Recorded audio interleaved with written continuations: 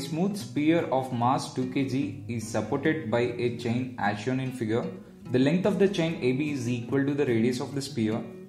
Draw free body diagram of each element and find the tension in the chain and reaction of the wall.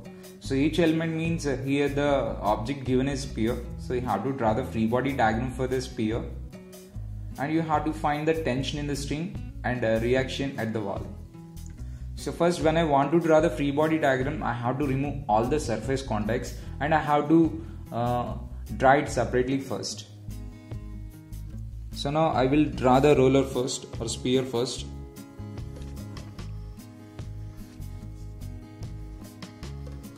So this is the sphere. The first thing I have to represent is weight. So weight acts vertically downwards. Given mass is given there. So first you need to convert that mass into weight. So mass is given as 2 kg. So if you want to convert that one into weight, you have to multiply that one with 9.81 meter per second square. So then it will be 19.62 newtons. And now we are going to represent the weight. So weight is 19.62 newtons, right? And if you observe the string, string can experience only tensile force. That means AB can experience only tensile force. So here along this string there will be tensile force. If you extend that one, so that is going to intersect at the center. And if you observe this roller, this roller is not able to move in left hand side direction. Why? Because there is a wall. When there is a restriction, you have to represent a reaction in the opposite direction perpendicular to surface. This is the reaction at C. So now I am transferring these forces onto plane for our convenience. So first I will draw the plane. So x-axis, y-axis. Now first weight. So weight acts vertically downwards from this point. So this is uh, weight. So which is 19.62 newtons. And next tensile force S in the string. So that is an inclined force. So value is not given there. So inclination uh, we have to find. So if you observe the given figure, so it is uh, like this.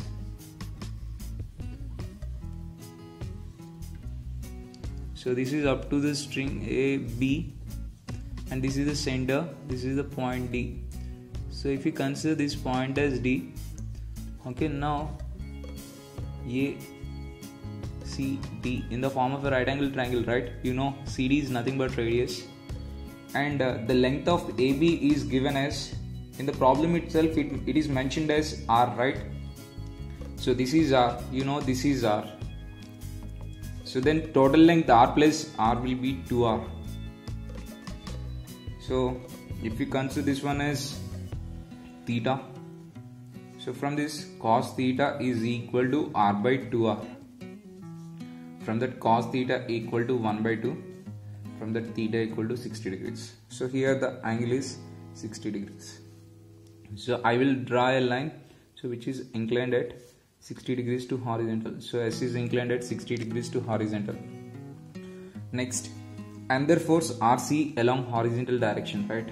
So this is rc so here there are three forces and that too the system is under equilibrium. So i can apply Lami's theorem in order to apply Lami's theorem i should find the angle between each and every force.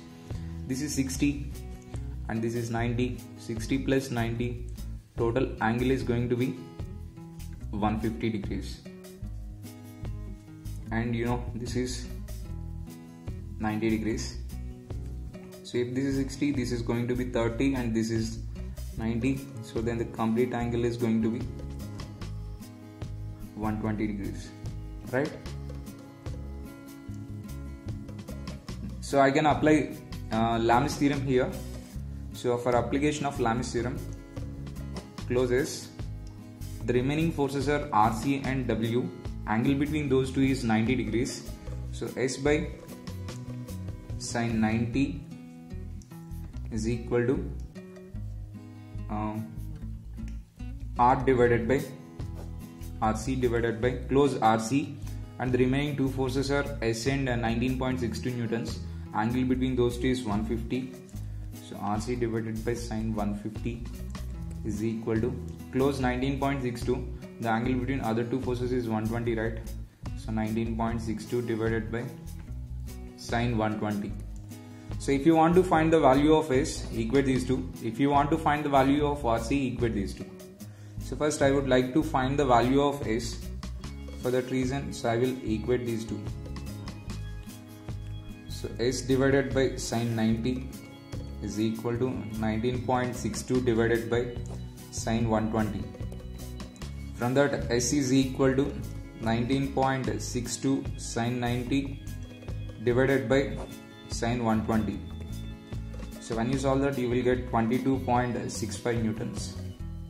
Similarly if you want to find the value of RC so consider this relation RC divided by sine 150 is equal to 19.62 divided by sine 120 right?